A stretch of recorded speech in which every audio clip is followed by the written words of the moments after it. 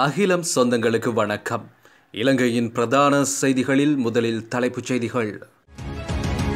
அத்தியாவசிய பொருட்களின் விலை அதிகரிப்பு தொடர்பில் வெளியான அறிவிப்பு. கனடாவில் இலங்கையர்கள் கொலை சந்திக நபரின் மோசமான மறுபக்கங்கள். கோட்டாவை வெளியேற்றுவதில் சதித்திட்டம் எதுவும் இல்லை அறகலைய செயற்பாட்டாளர். இன்று அதிகாலை கோர விபத்து. ஸ்தலத்திலே மூவர் பலி.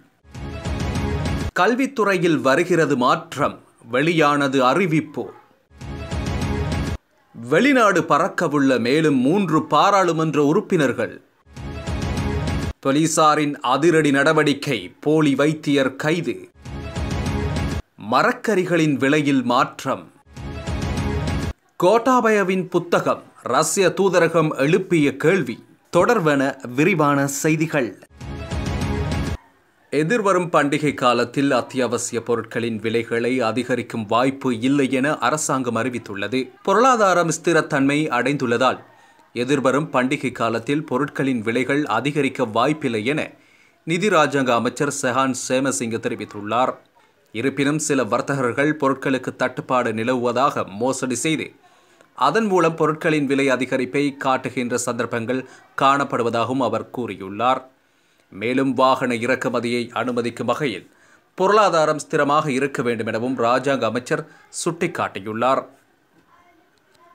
கனடாவில் ஒட்டாவாவில் வசித்த இலங்கை குடும்பத்தை சேர்ந்த ஆறு பேரை கத்தியால் குத்தி கொலை செய்த சம்பவம் தொடர்பில் கைது செய்யப்பட்ட சந்தேக நபர் தொடர்பில் முக்கிய தகவல்கள் வெளியாகியுள்ளன. இலங்கையை சேர்ந்த பத்தொன்பது வயதுடைய இளைஞன் உயிரை மாய்த்து கொள்ளும் மனநிலையில் இருந்ததாக தகவல்கள் வெளியாகியுள்ளன. குறித்த இளைஞன் தான் படிக்கும் பாடசாலையில் சில பிரச்சனைகளை எதிர்கொண்டதாகவும் அவருக்கு மன அழுத்தம் இருந்ததாகவும் கூறப்படுகின்றது. ஒட்டாவாவில் வசிக்கும் இலங்கை குடும்பம் ஒன்றின் இளம் தாய் ஒருவரும் அவரது நான்கு பிள்ளைகளும் குடும்பத்துடன் வசித்து வந்த மற்றும் ஒருவருமே உயிரிழந்துள்ளனர். கொலையை செய்த பத்தொன்பது வயதுடைய ஃபேப்ரியோடி சொய்சா என்ற இளைஞனும் இவர்களுடன் சில காலம் வாழ்ந்து வந்துள்ளார். கத்தி குத்து தாக்குதலுக்கு இலக்காகி வைத்தியசாலையில் அனுமதிக்கப்பட்ட குடும்பத்தாரின் தந்தையின் நிலைமை கவலைக்கிடமாக இல்லை என தெரிவிக்கப்படுகின்றது. குறைத்த இளைஞன் உயிரை மாய்க்கும் எண்ணத்தில் இருந்ததாக தாக்குதலுக்கு இலக்காகி உயிர் பிழைத்த குடும்பத்தின் தந்தை பிரதேச பௌத்த விகாரையின் தலைவர் மற்றும் அவரது மற்றொரு நண்பரிடம் தெரிவித்துள்ளார். இதேவேளை கணவன் மனைவிக்கு இடையில் எவ்வித பிரச்சனையும் இல்லாமல் வாழ்ந்தார்கள். அடுத்தவர்களின் பிள்ளைகளுக்கு உதவ சென்ற இந்த நிலைக்கு தள்ளப்பட்டதாக உயிரிழந்த பெண்ணின் தந்தை தெரிவித்துள்ளார். கொலை செய்ததாக சந்தேகிக்கப்படும் இளைஞனின் தந்தையால் மகனை சரியான முறையில் வழிநடத்த முடியவில்லை என்பதனாலே உயிரிழந்த பெண்ணின் கணவர் அவரை வீட்டிற்கு அழைத்து வந்து வைத்திருந்தார் என தந்தை குறிப்பிட்டுள்ளார். மகள் அந்த இளைஞனை அனுப்பிவிடுமாறும் கூறிய போதிலும் உதவி செய்யும் நோக்கில் தங்க வைத்திருந்ததாக கூறியுள்ளார். முன்னாள் ஜனாதிபதி கோட்டாபய ராஜபக்ஷவை அதிகாரத்திலிருந்து வெளியேற்றுவதில் சதித்திட்டம் இருப்பதாக கூறப்படும் குற்றச்சாட்டை மருத்துவ அறகலை என்ற காலிமுகத்திடல் செயற்பாட்டாளர் வசந்த முதலிகே பொதுமக்களை அவரை வீட்டுக்கு அனுப்பினார் என்று வலியுறுத்தியுள்ளார்.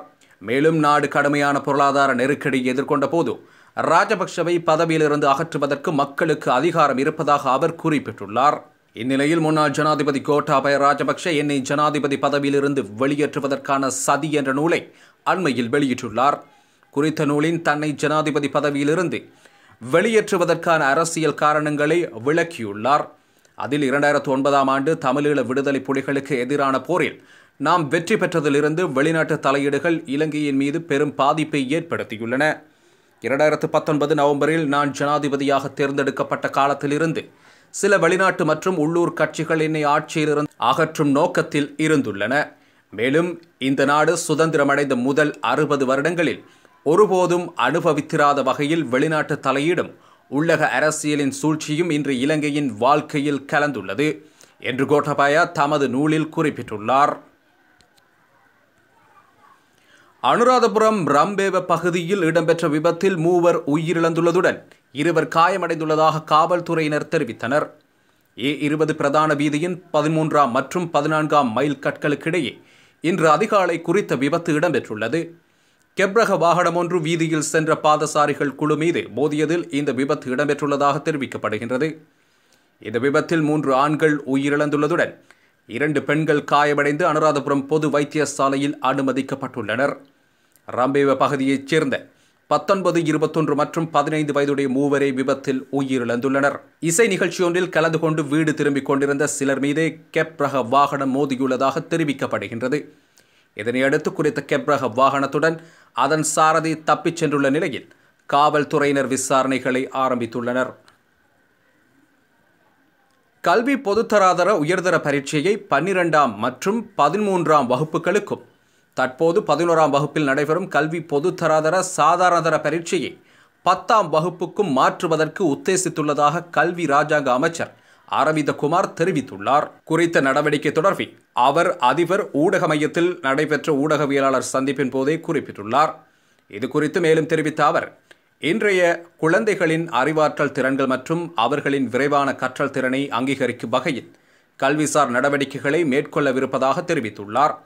இதன் அடிப்படையில் தரம் ஒன்றிற்கு முன்னர் முன்னைய தரத்திட்டத்தை அறிமுகப்படுத்த அரசாங்கம் தயாராக உள்ளது என குறிப்பிட்டுள்ளார். மேலும் கல்வித்துறையை மேம்படுத்துவதன் ஒரு பகுதியாக சிறந்த நிர்வாகத்தையும் மேற்பார்வையையும் எளிதாக்கும் வகையில் வலய கல்வி அலுவலகங்களின் எண்ணிக்கையை சுமார் நூறிலிருந்து நூற்று இருபதாக உயர்த்த அரசு திட்டமிட்டுள்ளதாக அவர் குறிப்பிட்டுள்ளார். தற்போதைய நாடாளுமன்றத்தை பிரதிநிதித்துவப்படுத்தும் மூன்று நாடாளுமன்ற உறுப்பினர்கள் தமது பதவிகளை ராஜினாமா செய்துவிட்டு வெளிநாட்டிற்கு செல்லவுள்ளதாக அரசியல் வட்டார தகவல்கள் தெரிவிக்கின்றன. தற்போதுள்ள பொருளாதார நெருக்கடி காரணமாகவே இந்த நடவடிக்கையை அவர்கள் எடுக்க உள்ளதாக தெரிவிக்கப்படுகின்றது. இவர்கள் மூவரும் ஸ்ரீலங்கா பொதுஜன பெரமுனவின் இருந்து முதல் தடவையாக நாடாளுமன்றத்துக்கு தெரிவு செய்யப்பட்டவர்களாவர். மீண்டும் நாடாளுமன்றத்திற்கு வருவதற்கு வாய்ப்பு குறைவடைந்தமை அவர்கள் நாட்டை விட்டு வெளியேறுவதற்கான பிரதான காரணமாகும். இதனிடையே மூன்று எம்பிக்கள் நாட்டை விட்டு வெளியேற தயாராக இருப்பதாக அண்மையில் இடம்பெற்ற கலந்துரையாடலில் உயர்பீட உறுப்பினர் ஒருவர் குறிப்பிட்டுள்ளார். அண்மையில் பொதுஜன பெரமுனவின் நாடாளுமன்ற உறுப்பினராக இருந்த உத்திக பிரேமரத்ன தனது நாடாளுமன்ற உறுப்பினர் பதவியிலிருந்து விலகி கனடாவில் வேலை வாய்ப்பிற்கு விண்ணப்பித்துள்ளதாக தெரிவித்திருந்தமை குறிப்பிடத்தக்கது. மருத்துவர் போன்று நடித்து மருத்துவ நிலையம் ஒன்றை நடாத்தி வந்த ஒருவர் பியகம போலீசாரால் கைது செய்யப்பட்டுள்ளதாக தெரிவிக்கப்படுகின்றது. இவர் பதிவு செய்யப்பட்ட மருத்துவரான தனது மகனின் பெயரை பயன்படுத்தி இவர் இந்த சட்டவிரோத மருத்துவ நிலையத்தை நடத்தி வந்துள்ளமை போலீசாரின் விசாரணையில் தெரியவந்துள்ளது அத்துடன் கைது செய்யப்பட்ட சந்தேக நபரை மகர நீதிமன்றில் முற்படுத்த போலீசார் நடவடிக்கை எடுத்துள்ளனர். பேலியாகொடை மெனிங் சந்தையில் மரக்கறிகளின் விலையில் இன்று சற்று வீழ்ச்சியை பதிவு செய்துள்ளது.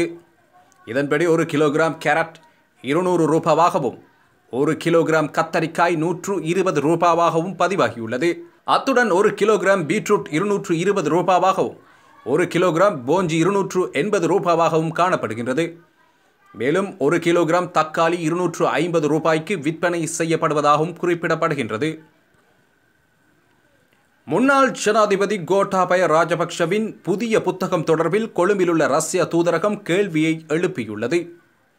இது தொடர்பில் எக்ஸ் தளத்தில் பதிவிட்ட ரஷ்ய தூதரகம் இலங்கை இராணுவ தலைமையகத்திற்கு வெளிநாட்டு தூதுவர்களின் வருகையை கட்டுப்படுத்த வேண்டும் என்று முன்னாள் ஜனாதிபதியின் யோசனை குறித்து கேள்வி எழுப்பியுள்ளது.